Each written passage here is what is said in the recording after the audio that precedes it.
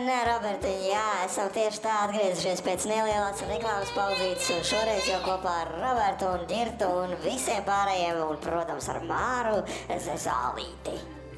Tā ir, mēs esam atkal kopā un esam kopā, lai uzzinātu, kas bija tās lietas, kas dalībniekiem deva jaunu enerģiju un spēku uzturēties šeit šovā. Un pirmo paskatīsimies Antru, kas bija tās lietas, kas viņai palīdzēja.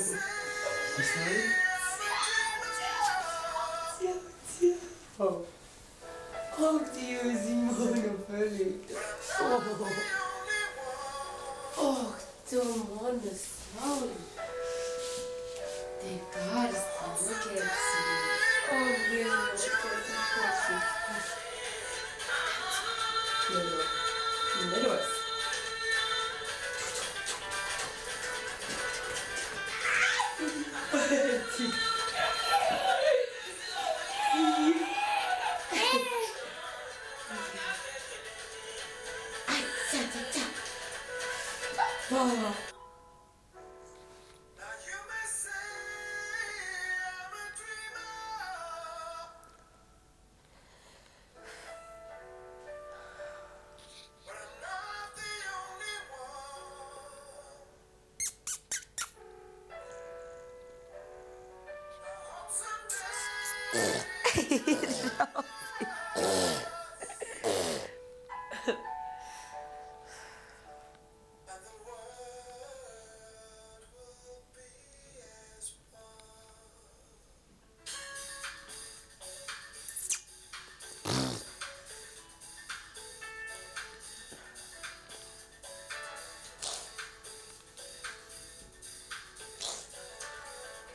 Mamma tā kā mīkstā, tā čīkstas laiku.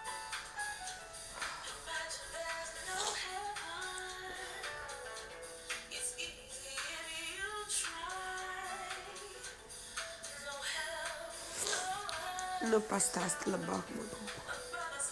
Kad tu nāki runāt, pasaki mamma. Pasaki mamma. Pasaki mamma.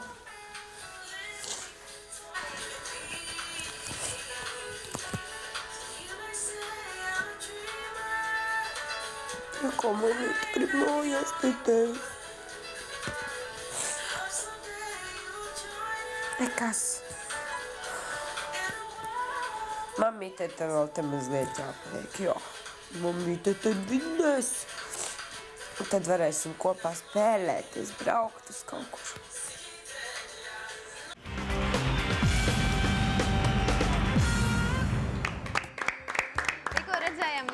Ļoti emocionālu mirli, kas Antrai bija šovā, kad pie viņas ciemos bija viņas dēliņš Robītis. Antri, tad varbūt var pastāstīt, kāds bija sajūtas pēc ilga laika atkal ieraugot dēlu, un vai tiešām viņš deva to enerģiju, kas bija nepieciešama, lai uzturētos šeit? Nu, tas bija, man liekas, viens no tādiem vis, vis tādiem baigākajiem. Es pat nezinu, kā to nosaukt. Nu, ļoti emocionāls brīdis, tāpēc, kad, tad, kad tu esi prom no tiem, tiem saviem mīļajiem, un tad viņiem, ja viņi atnāk pie tevis, tīpaši tas tavs dēliņš, nu, bija baigi grūti. Tagad pat skatos, man pilnīgi tās pašas emocijas uzreiz nāk virsū, kas bija tā reizē. Nu, bija baigi grūti, principā tās divas, cik trīs stundiņas viņš bija pie manis.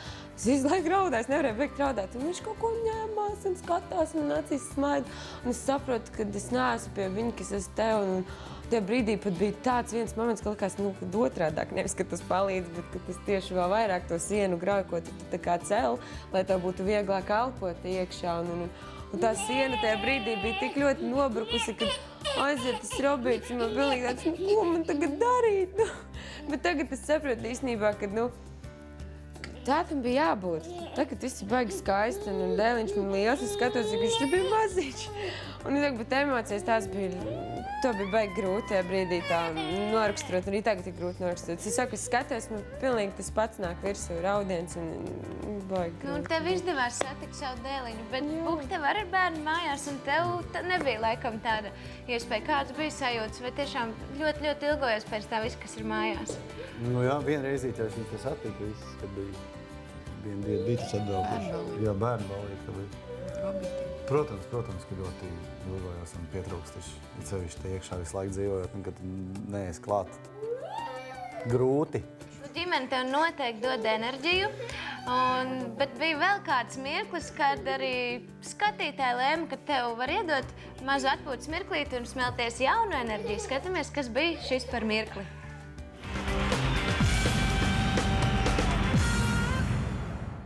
Kāds ir vēlējies redzēt trešajā izbalsošanas krēslā? Buku. Un tas ir buku. Kas tas ir šo? Emanējā. Jā, Mārtiņ. Buku. Jā, Buķel. Kurš tas bija? Varētu būt, ka man ir. Aplaus Jānim, aplaus Kristāl, aplaus arī Oskaram. Jānis Buķels var tikai priecāties par to, ka viņam ir tik daudz atbalstītāju. To ir 4051 balss, un sareizina vēl vismaz ar 3 vai pat 4, un, un tu iegūsi, cik ir tev atbalstītāju un fani, Jāni. Es viņus nekādā gadījumā nepametu, mīļie atbalstītāji. Tas, tas ir tikai šovs, un šovs beigsies jebkurā gadījumā, diezgan drīz. Tā kā mēs noteikti tiksimies vēl daudz kur un bieži. Balīte būs kaut kur un dacīti. Zinu, ka mēs Vismaz uz šo šo laiku. tiksimies. Tikai jautājums ir, kad tas būs un kur. Mēs tikko viens otru atradām, un nu jau atkal jāsmaldē. Nu, veči, drīz paši tiksimies. Finālā, jebkurā gadījumā. 11. jau izslēgt jebkurā gadījumā. Vai? Lai labi dzēšās, jā? Lai labi Pasveicu sievu bērnu. Pasveic viņu visus savējos. Dzēsai nepadodas. Ziedēšu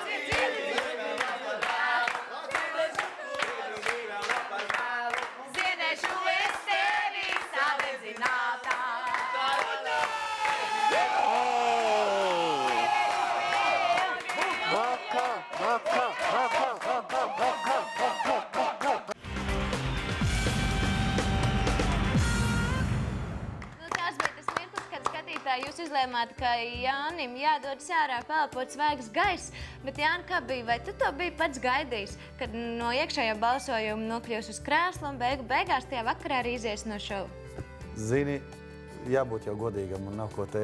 Es ļoti cerēju, ka es iziešu. kā ārā. būs? Jā, godvārds tā man bija liela dāvana. Es saprotu, atbalstītāji, kā jūtās un kā, kā teiksim, cilvēki un viss, un paldies. Un es jau cīnos, un pēc tam arī atgriezos un gāju līdz galam. Un, bet uh, man personīgi, nu, baigi grūti šī visu laiku dzīvot iekšā. Un tas arī bija tāds moments, to varēja redzēt, ka es nu, galīgi nebiju ne sašļuts, ne nobēdājies par to. Bet nu, tā bija man liela dāvana īstenībā. Tikt ārā un, un tikt pie, pie dacas un pie bērniem un nosvinēt lieldienas. Un es paspēju pa tām divām nedēļām piedzīvot gan ziemu, gan pavasari, visu, ko es nebiju redzējis tajā īsajā laikā un satikt draugus un visu. Un es jau to teicu arī, man liekas, pirms tam vai pēc tam kaut kur, kad uh, es sapratu tikai tagad, tikai te iekšā esot tajā šovā, es sapratu, cik man tomēr svarīgi ir ģimene un, un draugi un radi un visi tie, kas ir tev apkārt, cik viņi tomēr dod man spēku un cik es smeļos tajā iedvesmu un spēku tieši. Bet tā arī ir tev sieva, Dārsa, dod spēku. Bet kādas tev bija sajūtas tajā mirklī, kad tu redzēji, ka Jānis ir izbalsots un nāk mājās? Es neticēju. Gribēji, lai viņš paliek Nē, iekšā? Es vienkārši līdz pēdējiem neticēju, ka tiešām tas notiek. Es stāvēju, man draugs saka, nu braucam, braucam. Es saku, nu pagaidi, nu ko tu gaidīsi? Es nezinu, nu braucam, nu labi, braucam. Tad, kad es izgāju ārā aiz durvīm, es zvanu jau. Es saku, bija tāds drāmīgs laiks tieši laikā. Es saku, jūs varbūt neskrieniet pa, kā- pa galvu, pa kaklu un varat atbraukt rīt vai palikt Rīgā. Mēs jau esam saldu. Jā, viss jau. Jā, Brauc laiž. pakaļ aizvest mājās. Nu, jā. Bet mēs visi zinām, ka tas beidzās beigu beigās labi. Un skatītāji lēma, ka Jānis ir jāatgriežas atpakaļ un atgriešanās koncertā. Viņš izcīnīja vietu šeit, Okartas skatuves šovā. Skatāmies, kā tas notika.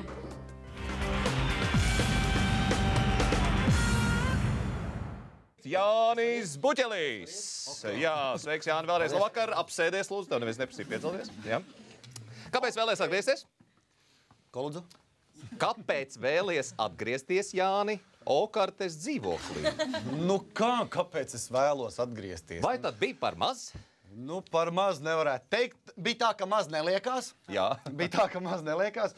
Bet, nu, ja es gribu cīnīties par pirmo vietu un galveno lomu mūziklā, tad man ir jāatgriežas. Bet atceries, ko tu toreiz uz strīpas teici? No, jā, es uz mājām, viss pietiek, viss cauri. Jā, šitā, Es jau ne? neteicu, ka viss pietiek cauri. Es teicu, ja man jāiet mājās, ok, es būšu priecīgs. Ja man jāpaliek, ok, es turpināšu cīnīties. Mhm, un Es tagad, tā skatītāji, teicu. un tagad skatītāji, kur balso par tevi, Tieši tāpat es saku, ja jūs man ieblēzīsiet iekšā, tad es došu virsū un cīnīsimies līdz galam.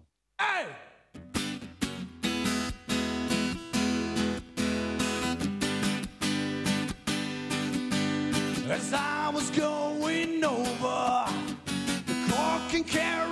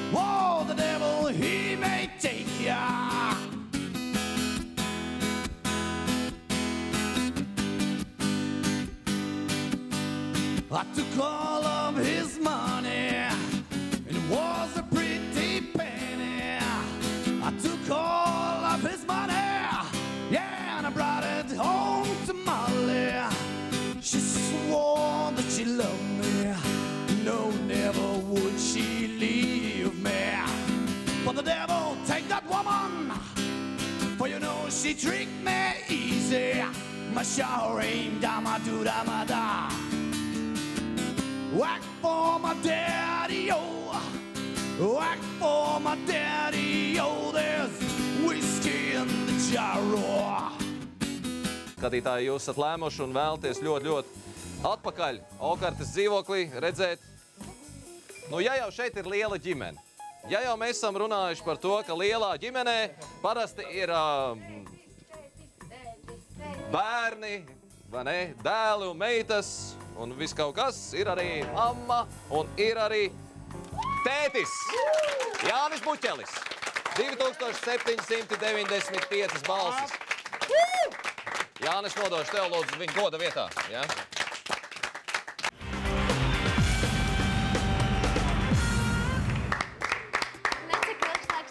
Šovā, kad Mārs Grigals atkal vēra vaļā lapiņas, un tur bija rakstīts buks. Tas nozīmē, ka buks atgriezās šovā.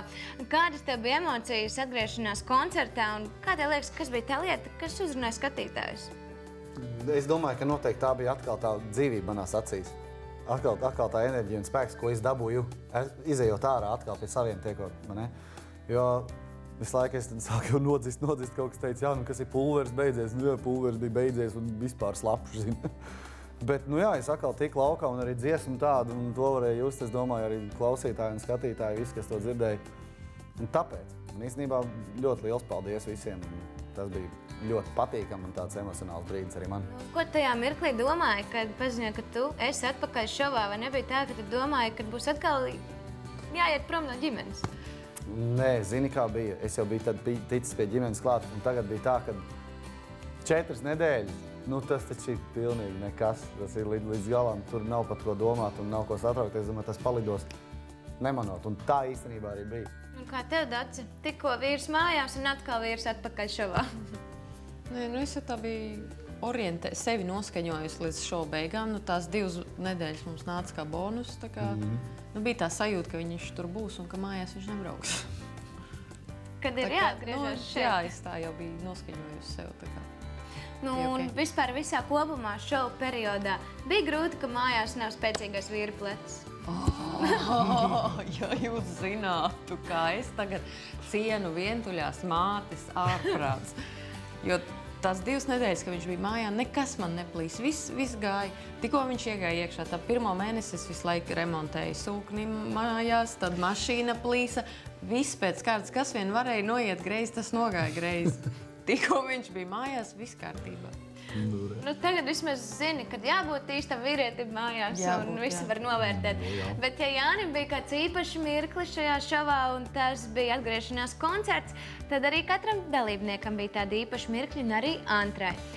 Un viens koncerts, kas īpaši skatītājiem iekrita sirdīs, un beig beigās dziesma arī tika ierakstīta. Kas tā pa dziesmu? Skatāmies!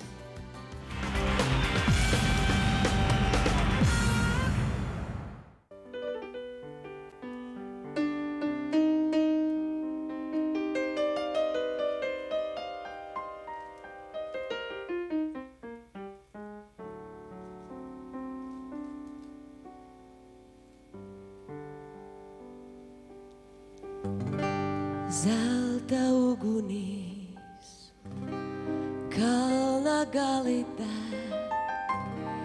balta jūra apakšā.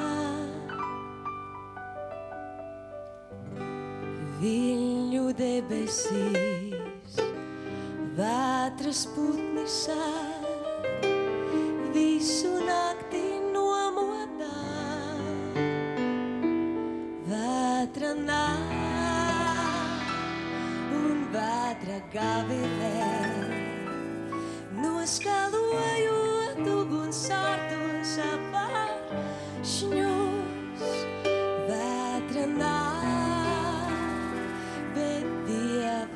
suerte.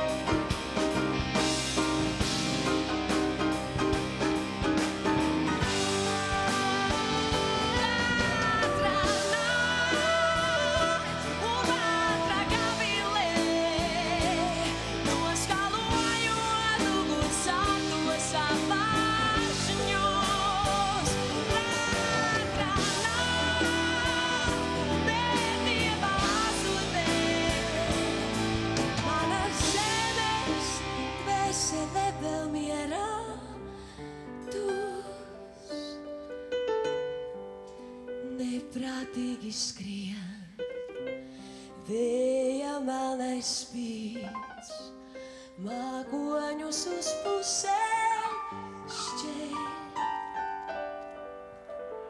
Un pa vienai vien zvaigznes jūrā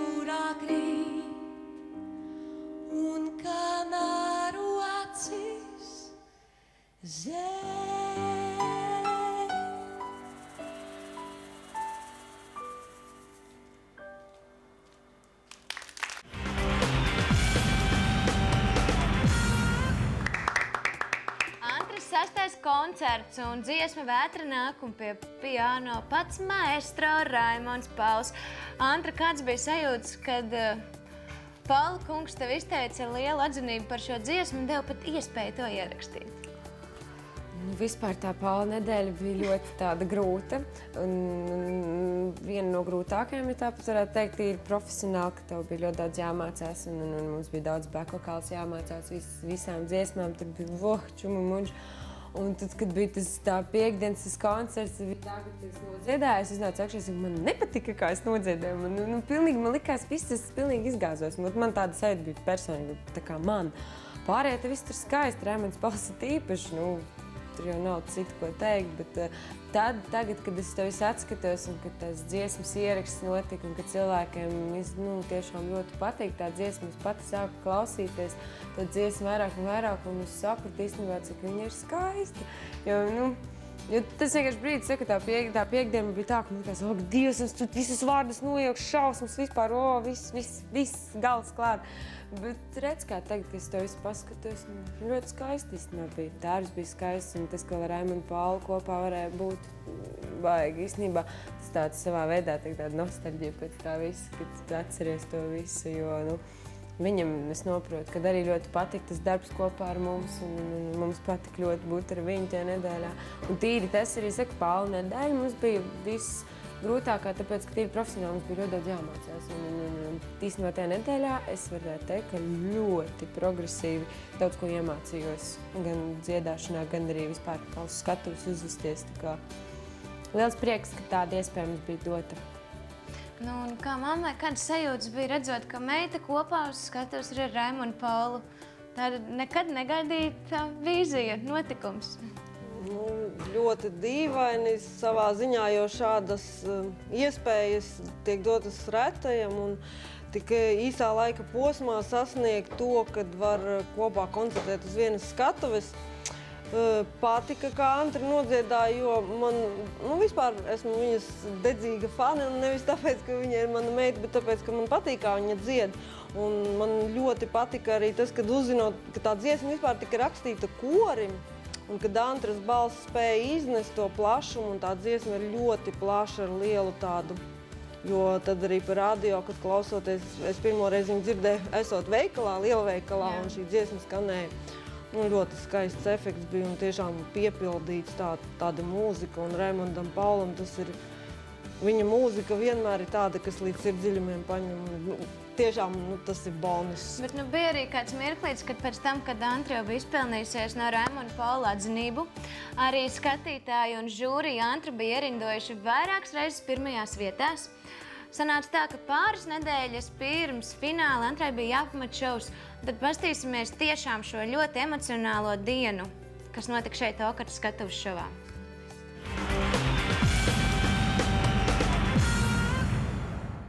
Diemžēl man ir jāpaziņo kāda mm, pavisam ļoti, ļoti nepatīkama lieta. Un nevienam nav noslēpums, ka Antra šovā ieradās slima ar veselības problēmām. Un viņa ik pa laikam šīs veselības problēmas sāsnājās.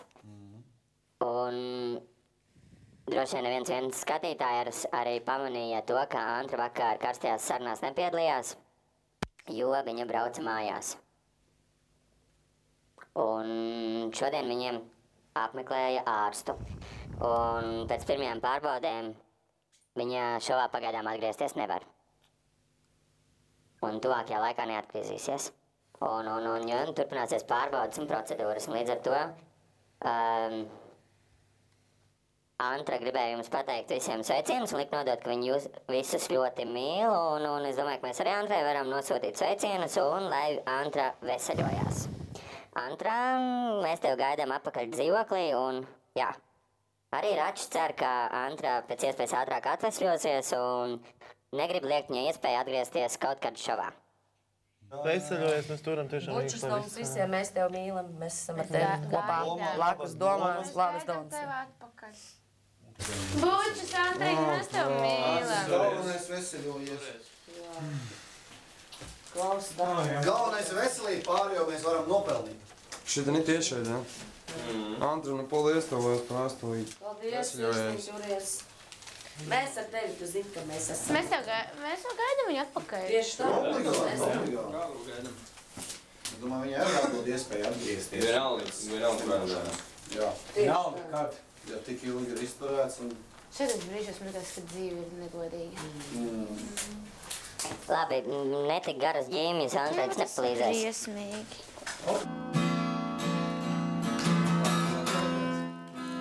Tikai piedziedāt. Jā. Nāc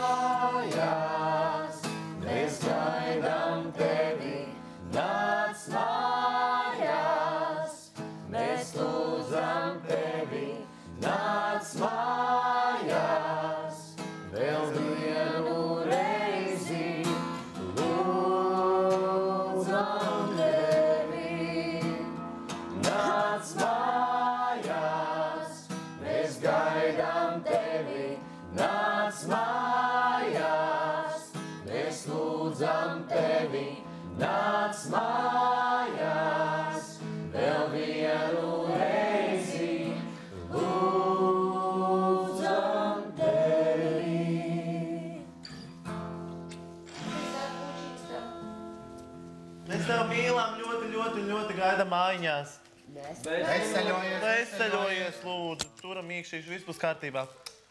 Sabīna, neraudi. Neraudi. Man puņķi tā.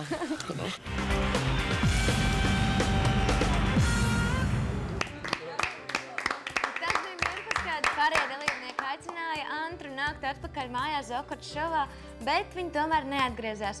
Antra, varbūt tu vari mums pastāstīt, kas notika un kas bija šis par problēmām un kāds bija sajūta sēžot mājās, skatoties, ka pārējie tevi tik ļoti gaida un ir iemīlējuši. Nu, es, es, ko es varu teikt? Nu, tā bija īstenībā to mēne, tiem mēnešiem šie cilvēki man kļuva ļoti tuvi, ļoti mīļi un, un, un, un bija ļoti grūti aiziet īstenībā, jo, nu, šaus, protams, paliek šaus, bet uh, grūti bija aiziet tā kā daļa viņiem, jo baigi, baigi.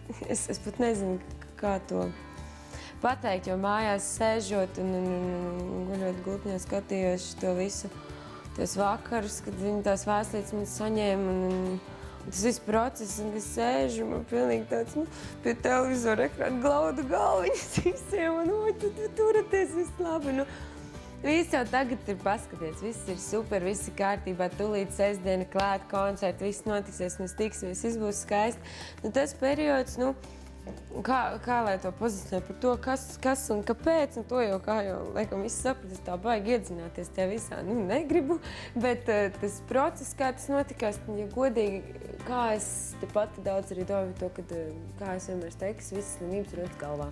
Un, un laikam, kaut kā mans organisms tā padevās. Bet bija tā, ka uh, Jānis bija izteicis tādu variantu, ka tu esi vieni, viena no spēcīgākajām konkurentēm.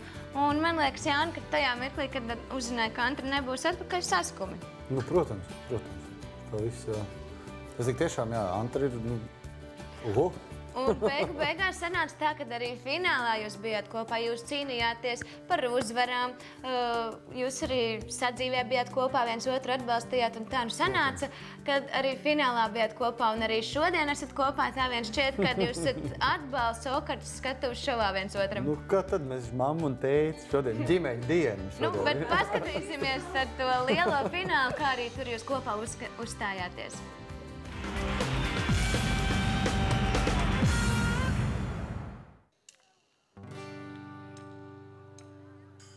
Through standing in line. The clouds will never get in. It's like a bottom of a ninth, and I'm never gonna win. This life hasn't turned out quite the way I want it to be. Tell me what you want. I want a brand new house on an episode of Cribs, and the bathroom I can play baseball in, and the king size up big enough for ten plus me. So what you need? I'll need a, a credit card that's got no limit and the big black jet with a bedroom in it. Gonna join the Mile High Club, 37,000 feet. Been there, done that. I want a new tour bus full of old guitars. Now star on Hollywood Boulevard. Somewhere between Cher and James Dean is fine for me. So how you gonna do that? I'm gonna trade this life for fortune and fame. Even cut my hair and change my name. Cause we all just wanna be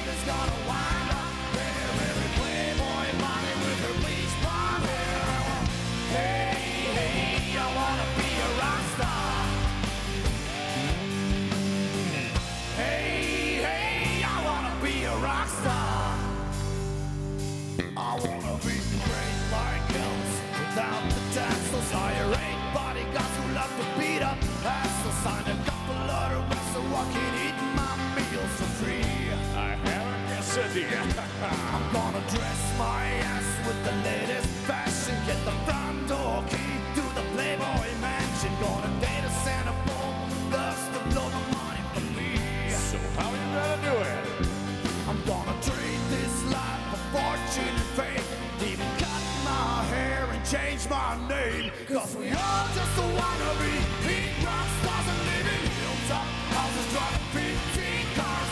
Girls come easy and the drugs come cheap. We all stay skinny cause we just won't eat and we'll hang out in the coolest bars. The VIP with the movie stars. Every good gold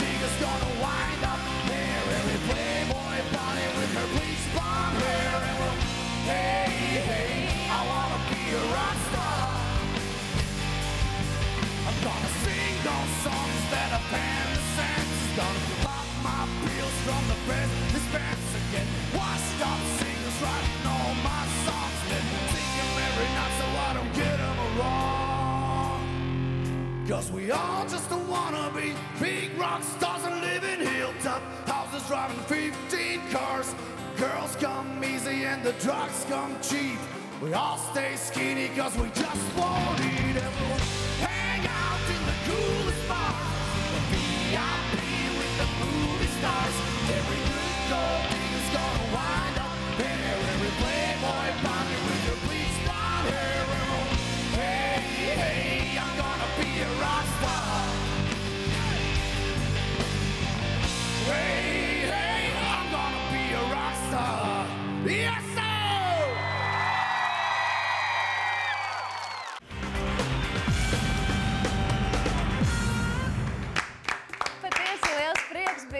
Šodien būt kopā, kad neskatījāmies kopā uz visu, kas ir bijis šovā.